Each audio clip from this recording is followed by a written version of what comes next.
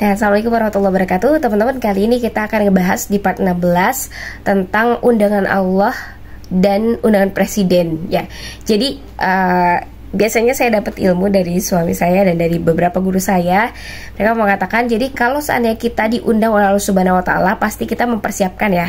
Jadi, uh, saya dikasih sebuah analogi bahwa uh, dah gitu. Bayangkan kalau kamu itu akan diundang oleh seorang presiden, ya presiden negara kita, misalnya Bapak Jokowi atau nanti sebentar lagi Pak Presiden Prabowo, misalkan gitu kan, kita akan diundang oleh beliau gitu untuk datang ke Istana Negara, misalkan satu minggu lagi, dan nanti satu minggu lagi nanti kamu akan eh, harus datang ke Istana Presiden, misalkan ya, dengan pakaian begini dress code-nya, kemudian pakai sepatu yang begini, kemudian nanti harus mempersiapkan speech uh, dan lain-lainnya dengan tema berikut ini dan sebagainya. Itu pasti ya, pasti kalau saya pribadi ya sebagai manusia normal pasti itu deg-degan banget gitu.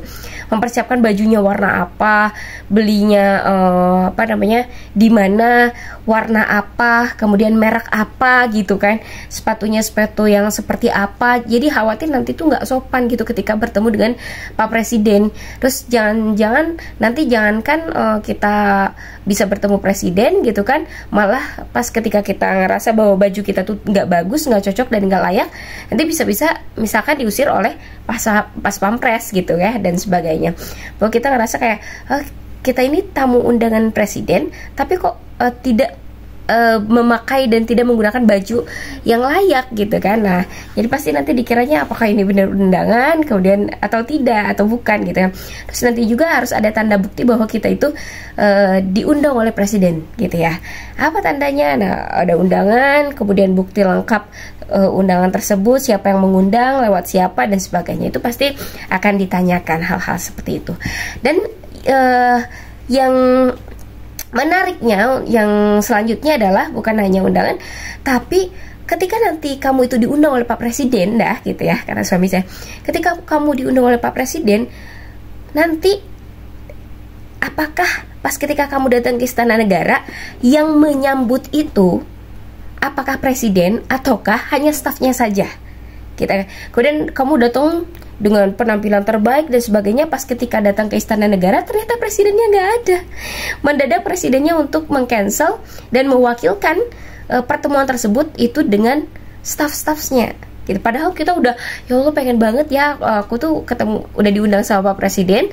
Ternyata pas ketika datang ke istana presiden kita ketemunya sama staff-staffnya aja, para menterinya aja gitu. Nah, jadi gimana sih perasaannya teman-teman gitu kan? Atau bahkan pas ketika kamu itu datang ke istana presiden, diundang oleh presiden, tapi pas ketika ada satu meja duduk apa satu meja bersama presiden, ternyata presiden malah nyuekin kamu gitu. Presiden malah uh, lebih fokus kepada tamu undangan yang lain sedangkan kamu tidak diperhatikan. Nah, gimana perasaannya itu? Kemudian yang terakhir adalah ketika kamu diundang oleh uh, presiden ke istana presiden, kemudian presiden menyambutnya, presiden bahagia atas kedatanganmu, kemudian presiden mau untuk berkomunikasi denganmu, presiden menerima speech darimu, presiden menerima uh, apa pun yang kamu uh, ucapkan, apa pun yang kamu utarakan, apa pun yang kamu berikan kepada beliau dan dan senantiasa ada impact yang luar biasa uh, dari pertemuan tersebut sehingga menjadikan hidupmu itu lebih bermakna setelah bertemu dengan presiden. Gimana rasanya? Jadi coba uh, kata suami saya coba untuk difikirkan hal tersebut gitu kan.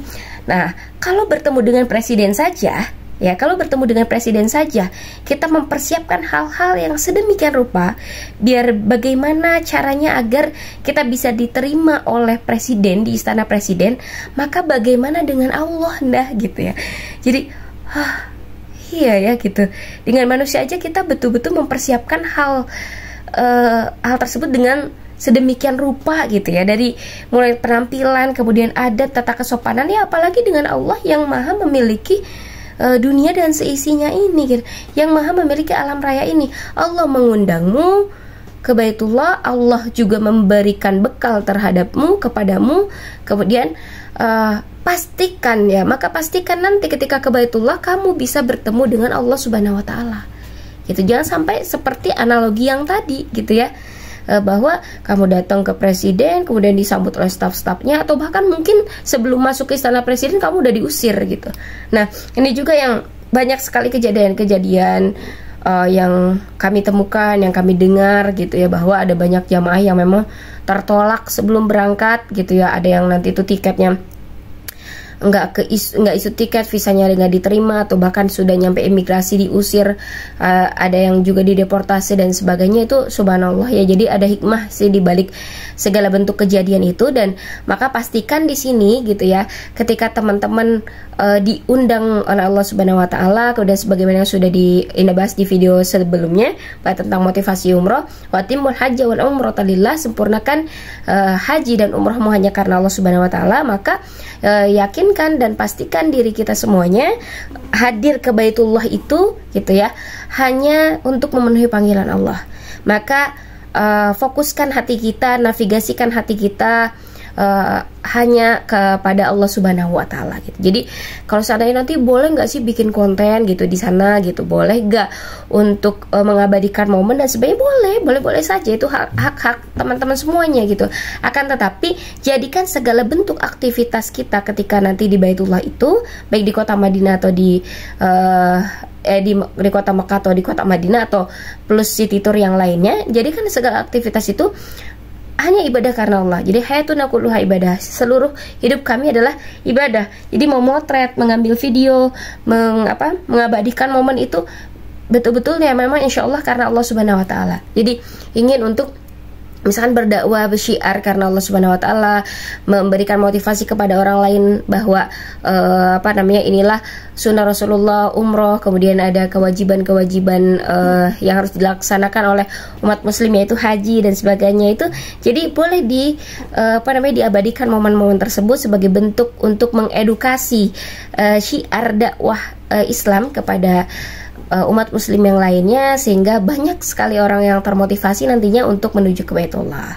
Oke, itu saja analogi uh, di malam hari ini mudah-mudahan bermanfaat dan mudah-mudahan ini menjadikan sebuah titik uh, tolak ukur dan titik balik hidup kita juga ya.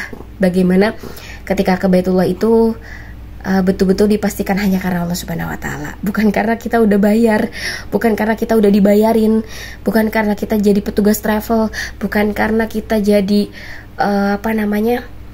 Uh, diumrohkan oleh bos kita, oleh yang lain-lainnya ya. Pokoknya dipastikan hanya karena Allah Subhanahu wa taala. Dan di next video ini akan ngebahas tentang bagaimana yang harus kita lakukan sebelum umroh ya. Sebelum umroh sebelum umroh kita harus lakukan hal ini dan pastikan betul-betul wajib melakukan hal ini. Oke, okay, see you next time. Wassalamualaikum warahmatullahi wabarakatuh.